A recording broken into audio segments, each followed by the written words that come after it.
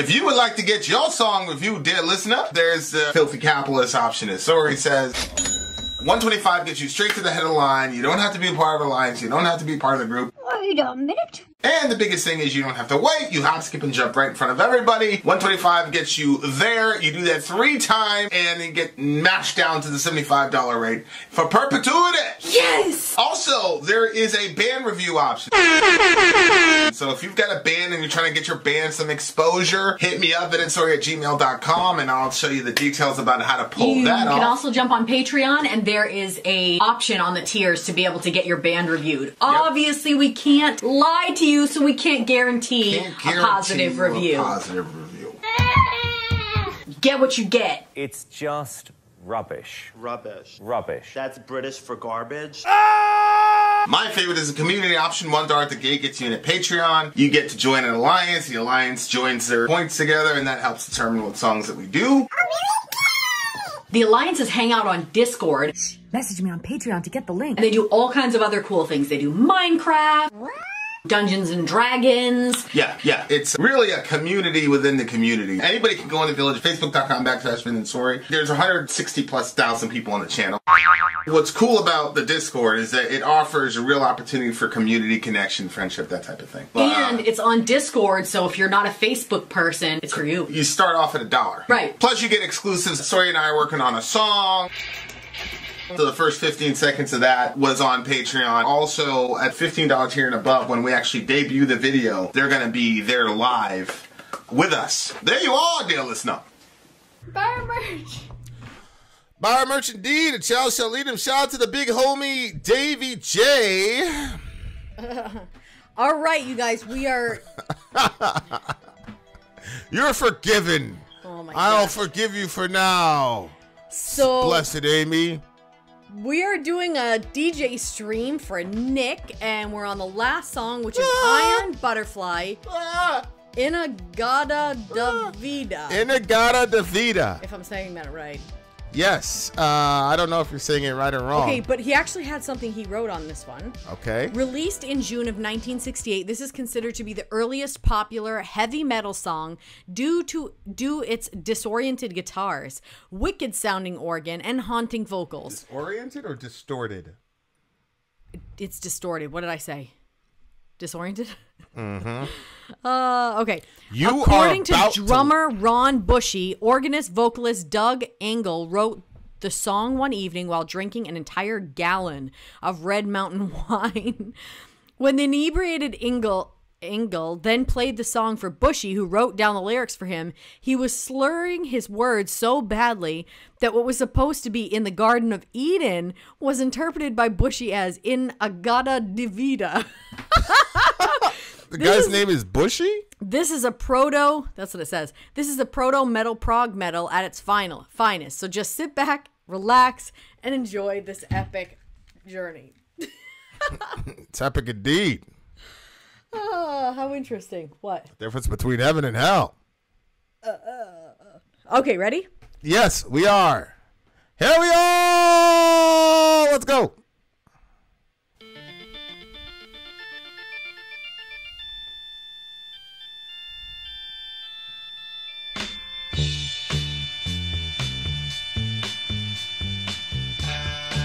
I feel like I've heard this bass line before.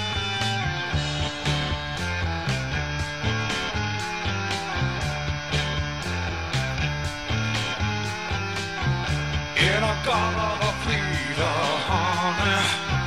Don't you know that I'm loving you? In a god of a Peter, baby. Don't you know that I'll always be true?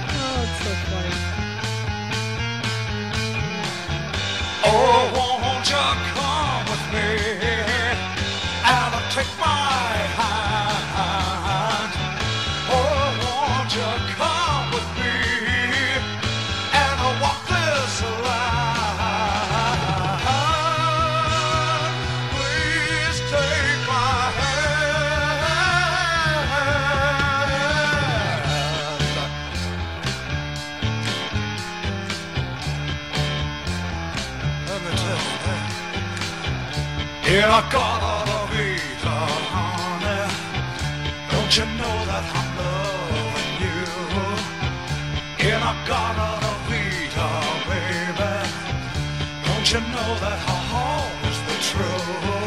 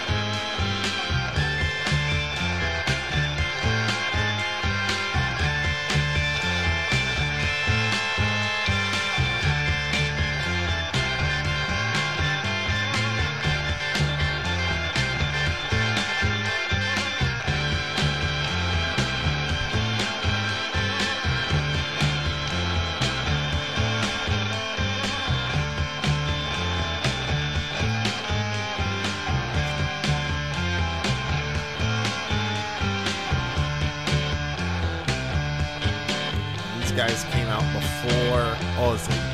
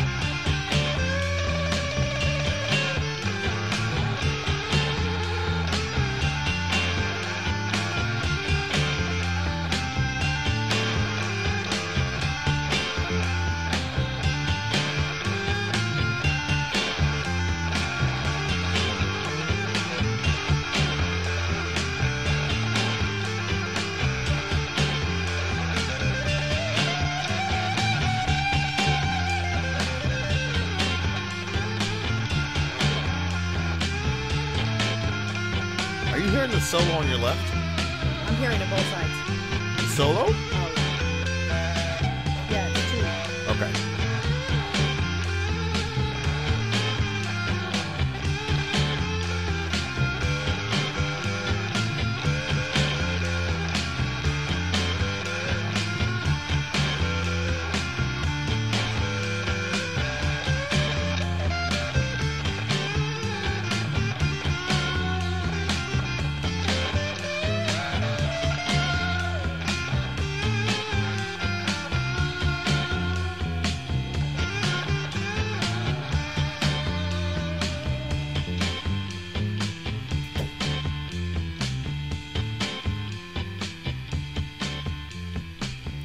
Sounds like a soundtrack for a Quentin Tarantino movie.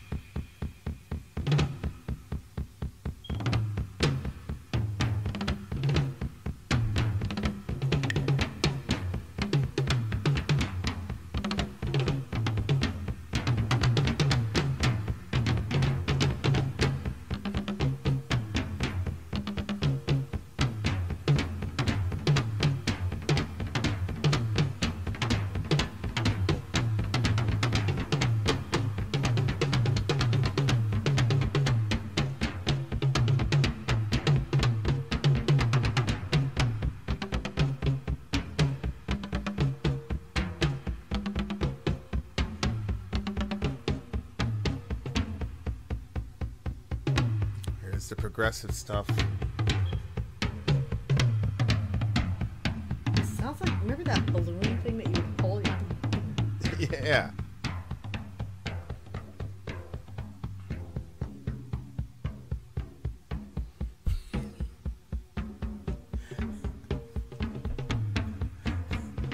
These drums are killing me right now. This part of the song is killing me right now.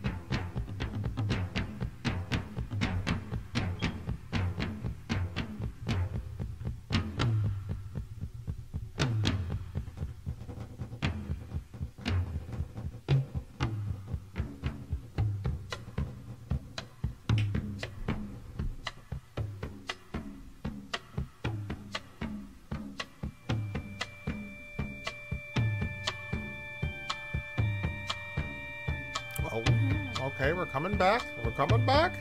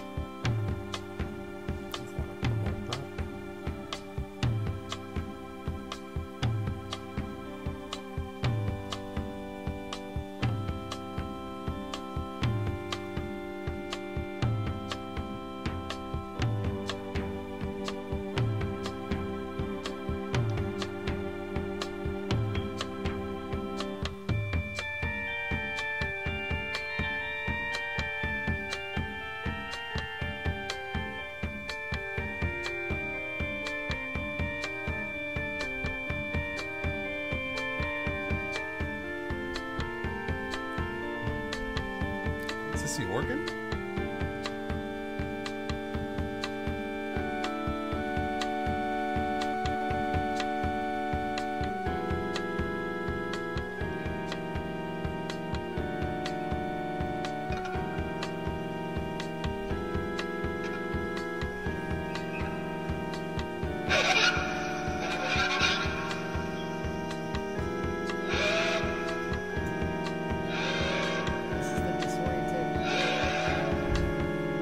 an elephant?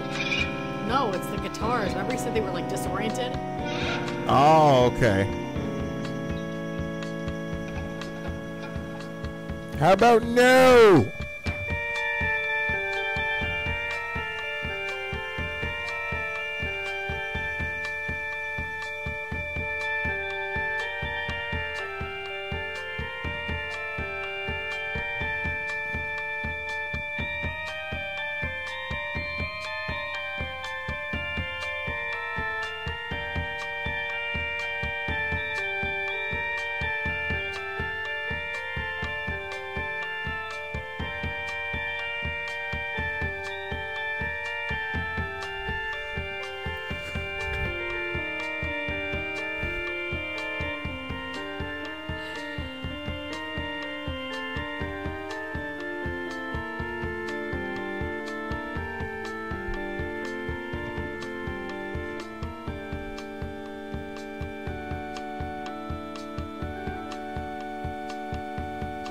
See, I like this part.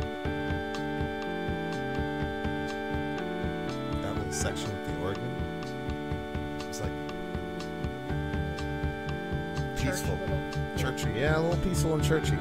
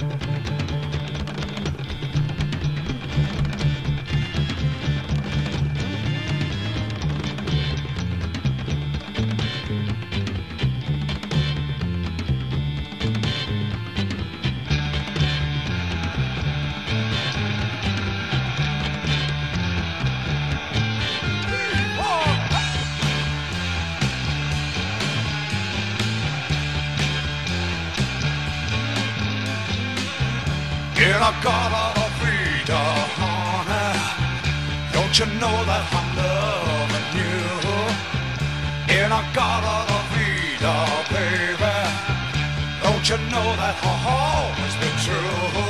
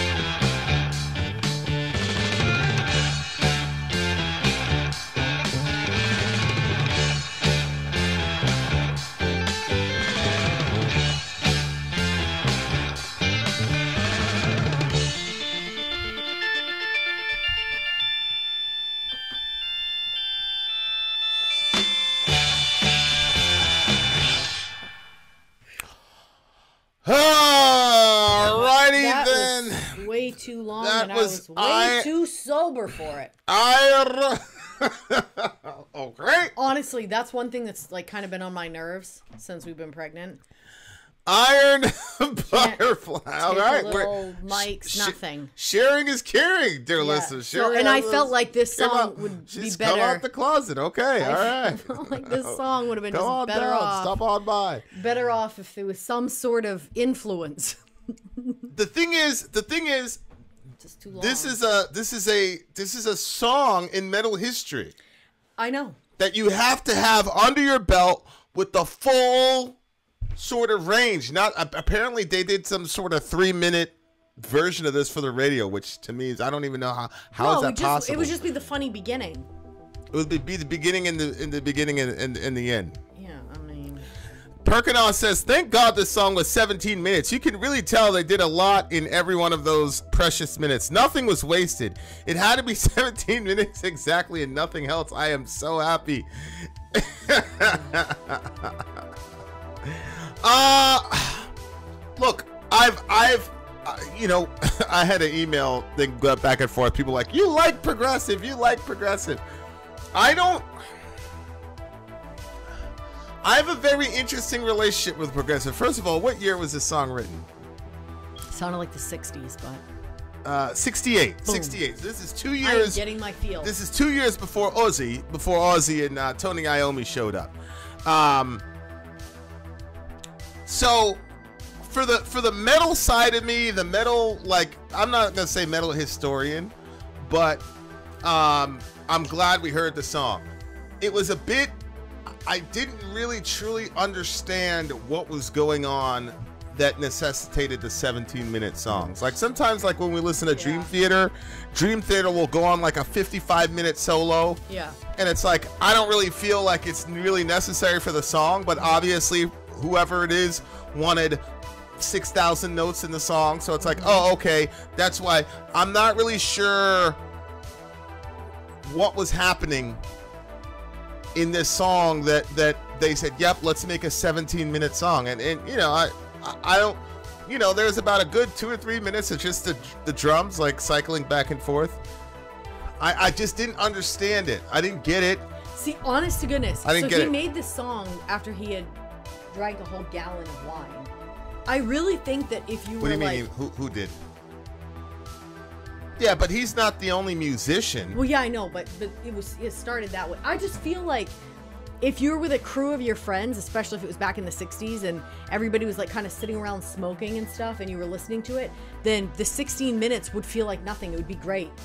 Wait, say that say that part again. Which part?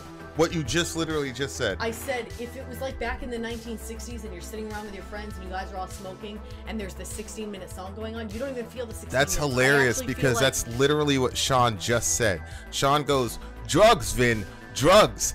These were da- these were days of records. You flipped to side two and just zoned out." That's literally where I feel like this fits. I- Okay. I, don't think it fits when you're completely sober. I just don't think it does.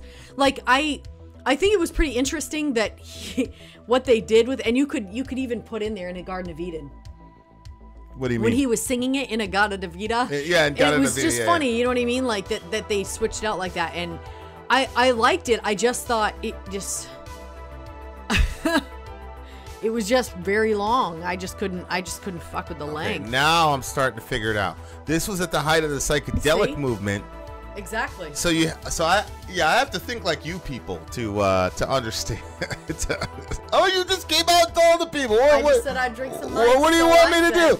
No, so apparently you have to be in an altered state of con. Okay, well I that feel like it would work so good, and then that the actually that that makes a lot of sense to me. That makes a lot of sense to me. Although I will say that Pink Floyd. completely sober right now. I feel like you could accomplish that with Pink Floyd, but you would get a lot of so much really good music and a crazy soundscape and all the rest of it. Like, I, yeah, but the other thing too is like it just felt so disjointed. It was like, oh, here's a tribal thing. Oh, here's an elephant. Yeah, but- here's a scratch. okay. Here's this. Yeah, but again, I guess an if you're no, it, wasn't there an elephant. it did kind of sound like an elephant, but it wasn't. It was the guitar. But I think that like, okay, have you have you ever been high and like you're you're very gone, and then like some random noise, you're like, whoa.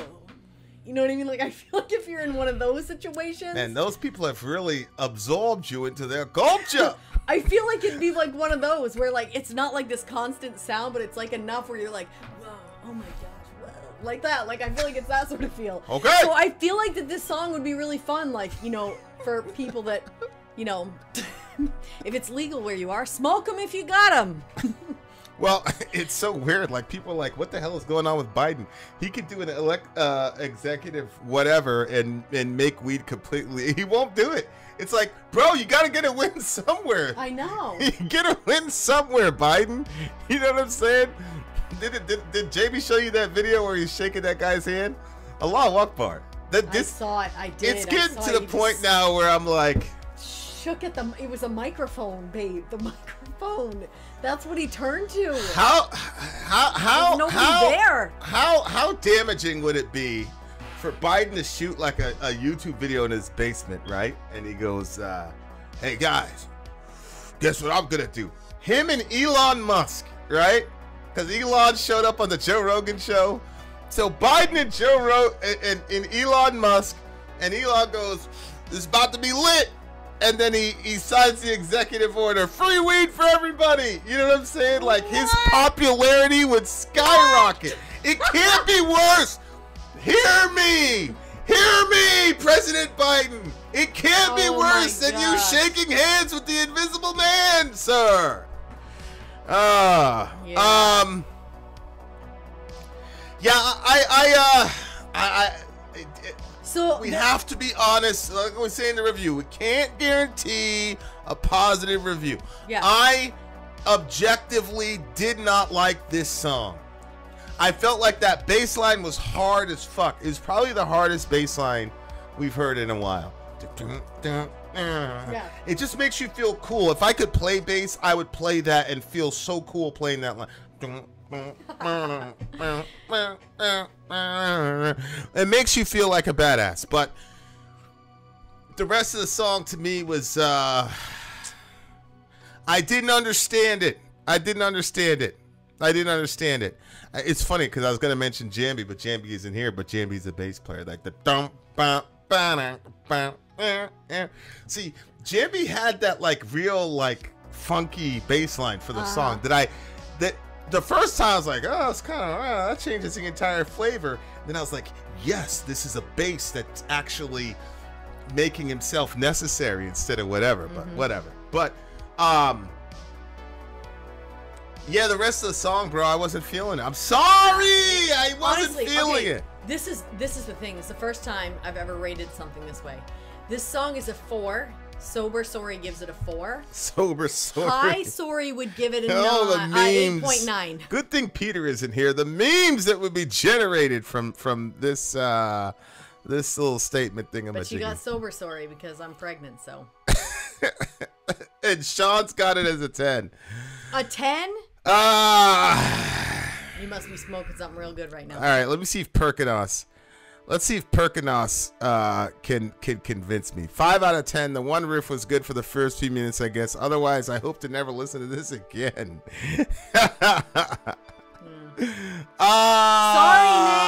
Ah, The song is iconic. All right, it's a two for me. I just don't. I don't lie. You guys know how I am. I'm not. I, Yo, I, I, I tell you guys.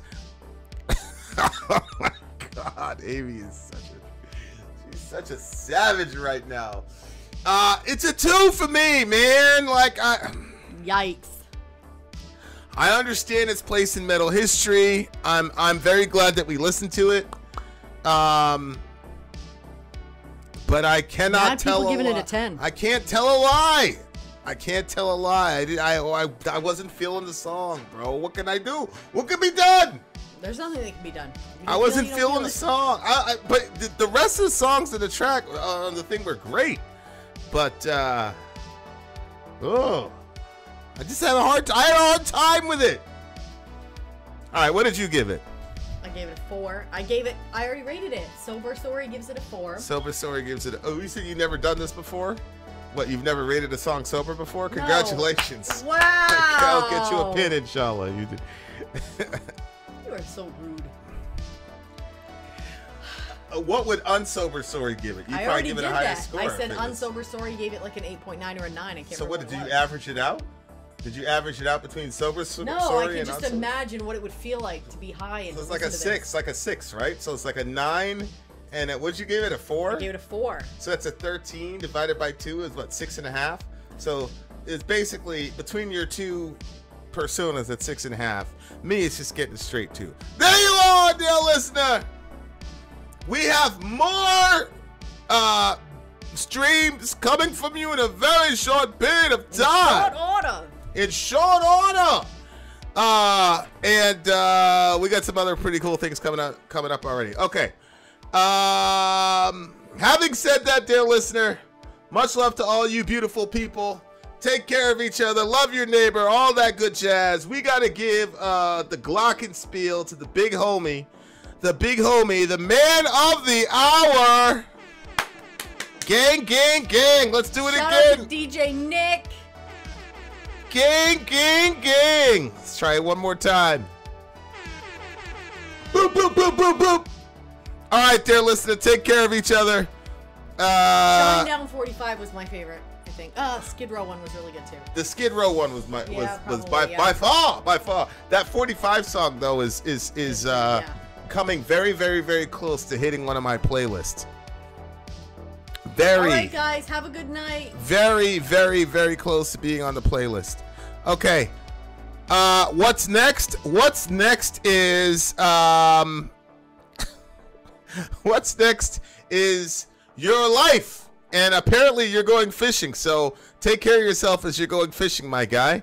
All right? And uh come back for more. Vin out. Sori out. go